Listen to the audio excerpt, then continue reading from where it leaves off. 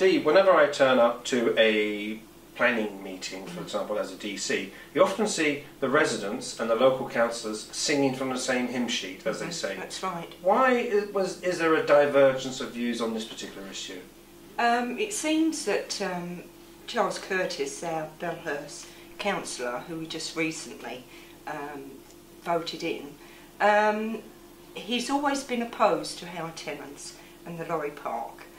He was well aware that um, myself and my husband and a few other residents were going to do a petition. Um, we asked for 100% support from our Labour councillors of Belhus. Um, they did say yes, and that's the last we saw of them. We got the odd phone call, um, and we basically were directed in the wrong direction with our petition. Um, it's very, very sad that they portray as councillors that they care for the residents.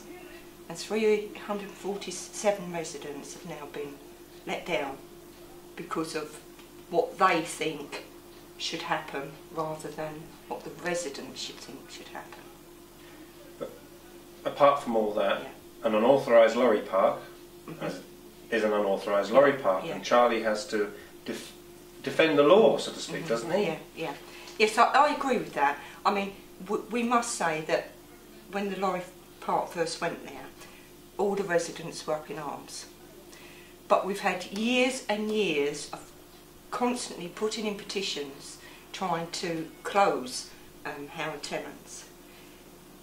Howard Tenens, in the end, um, started to propose um, certain things. So we had to look at this, that, you know, maybe this isn't too bad. Get the lorries off Stifford Road. We are struggling. Um, because of the, the council and the councillors fighting over the years with Howard Tenens, we have had to put up with five to 800, 500 to 800 lorries day and night. Seriously. And that's from Thurrock Highways. That they've actually done it. Um, we have one day respite a year, which is Christmas Day. They go all through the night, early hours, and just constantly. Howard Tenens have obviously tried to do their best for the, these residents that have signed the petition. They have read it. D, we will try and help with this, but we need the support of Thurrock Council and the councillors, and they haven't. So you're saying that as opposed to Howard Tenens being a remote company behind barbed wire, they've actually come into the community and Oh, said, yes. let's try and Yes, very much. solve the Mhm. problem. Yes. I, I do know Mr. Coombs, Steve Coombs, the manager over at Howard, Howard Tenens. He actually, if anybody comes or rings up and says, look, you know, we're not happy with this, he will go and see them. And he will try and resolve whatever problem they have. We, he is trying to resolve the problem of Stifford Road, but it's been thwarted by the councillors and uh, Thurrock Council. Now you wanted, oh sorry, Howard Tenens and uh, uh, agents wanted an entrance which was way down there, Mm. um, away from Stifford That's Road. right. But of course there are, the, the objection to that was there are plans for a sort of uh, a beauty spot or a pathway there, isn't that right? No. Anybody that has, has gone over to uh, Hangman's Wood will see it is boggy. The actual trees are dying because it's never been looked after. You know, my husband and I have actually gone round with a knife and and tried to cut all the ivy in, away from some of the, the very old trees. They're just dying. You know, they're, they're black, they're dead. It stinks over there. It's all boggy, all, all leaves. To make a big thing, you know, Thurrock Council make a big thing about um, that little bit of land. It, the residents have got to come first before, you know, this is an, they're going on ancient, um, you know, ancient doesn't last. It's got to be looked after, isn't it? It's got to be uh, repaired.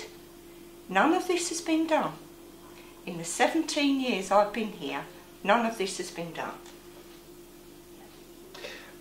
The gentleman from the Road Haulage Association was there on Monday and he was making the point that anybody drives up the M25 and quite a lot sees the words Operation Stack, meaning lorries have got to stack themselves somewhere, Yeah. here near Kent, near Essex, but and so he's saying the, the volume will, will continue. I mean, how, how long can you put up? We can't. We can't. Because,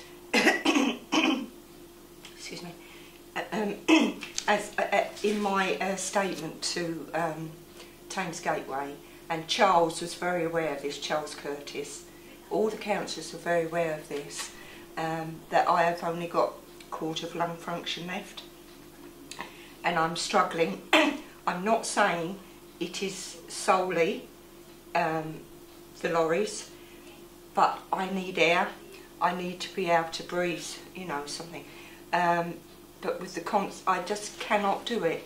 It, my whole well-being, you know, I, if I need to be in bed to rest, which is quite often I get a lot of pneumonia, etc. What have I got? Lorries constantly, you know, going past. It's, it's, we can't do it. It's not just me, it's the residents. Um, even by the traffic lights at the top of um, Stifford Road, they, they are in despair. We have been round, we have spoken to them. The councillors haven't.